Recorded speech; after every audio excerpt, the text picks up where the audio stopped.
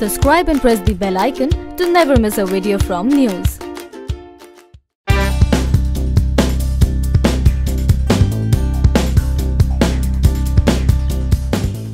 GNFC's first quarter growth of the fiscal year 2018 to 19 beat its decade best performance of fiscal year 2017 to 18. PBT rises up to 162% than the previous year's rupees 105 crore. PAT up by 179, EPS by 179, exports by 59% than the previous year first quarter result. Turnover rises by 51% than the rupees 1088 crore during the corresponding Q1 of the previous year.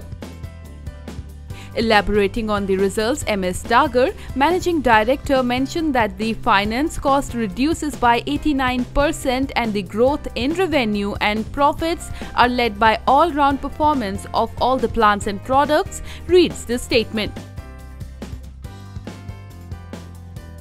Q1 2018 is the first achievement of the Bharuch-based company under IAS MS Dagur, the new managing director of GNFC.